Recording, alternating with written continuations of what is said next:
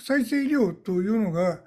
結局他人の組織とかを植えたりするということもあって、まあ、移植免疫のような面があるわけですね。でも意外と再生医療の中では、そういう移植免疫的なことが、あるいは HLA っていうことが無視されがちだということもあるので、まあ、今日はそのあたりをしっかりと、えー、まあ、学びながらあの考えていきたいということですね。ちょっと気持ち悪いが右側に出ていますけども、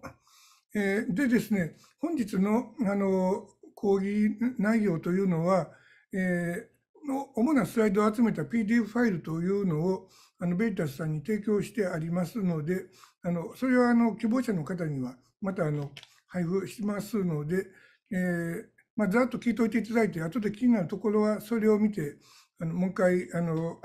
えー、復習していただいたらと思います。で、私、あの、これ、異生物学研究所、あの、あ、所長をやってるんですけども、えー、この研究所というのは、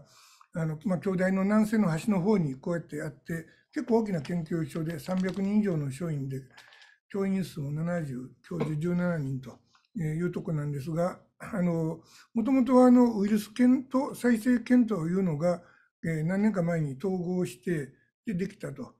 結構だからあのウイルス犬と再生犬は10人ずつぐらいの研究所やったんですけども、まあ、歴史的にはあの ATL ウイルスの日沼先生とか、まあ、それから制御性 T 細胞で毎年ノーベル賞の候補にも上がっている坂口先生、まあ、現にノーベル賞を捉えた山中先生とかも、あの、まあ、iPS 細胞は山中先生は再生犬によるときにあの作られましたので、まあ、今はあのここから派生した iPS 細胞研究所の方に移っておりますが、そういうあの、えーと、とてもあの、えー、大きな歴史を持った研究所と、名前がこの2020年に2年に生物学に変わりました。まあ、これはだからあの生物学に根ざした医学を、生物学をきちんとやりながら医学をしようというようなことですね。え、まあ、そんなんで私はあの、えっ、ー、と、臨床と研究をやったりして、20年ぐらい前からも基礎研究に専念、もともと血液内科の医者やったんですが、あので、あの京大に帰ってからは基礎研究をやりつつも臨床応用を目指したのもやってると。まあ患者を直で見るっていうのはもう20年前からやめております。で、今日は、あの、再生医療と HLA の話の前に、まあ、先ほども横澤さんのイントロでもありましたが、そもそも、あの、HLA って何してんやって話をもう、あの、少し丁寧にしたいと思います。えー、で、まあ、時間があれば再生 T 細胞製剤の開発の話というのをしようと。まず、あの、この HLA と何してんやという話なんですが、そのためにあの免疫反応の基本形から始めます。まあ、皆さん、あのここで聞いておられる方は、一回は免疫学を学んでおられるかと思うんですが、えー、まあ、それでもちょっと忘れられてるかもしれませんので、あの、ちょっとごく基本からいくので、まあ、あの、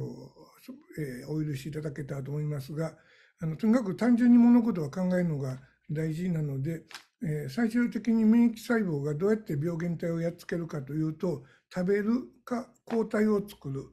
あと感染細胞を殺すというののに特化されます。えー、この3つに単純化できると。で、まあ、漫然と働いてるんじゃなくて、ちゃんと分業しておりまして、えーまあ、バクテリアが怪我して入ってきたっていう時には、とにかくもう食細胞が働きまくると。まあ、その死骸がこう海になって出ていくわけですね。えー、で、これはその血管から高中球がこうドワーッと出ていくところですけども、もちろん早回しですけどね、あの、炎症が起こってるとか言うたらもうこんな感じですごく出ていくわけです。で、これは高中球がカビの画法を食べているところですけども、こんな感じでもう、はち切れんばかりにバクバク食うわけですね。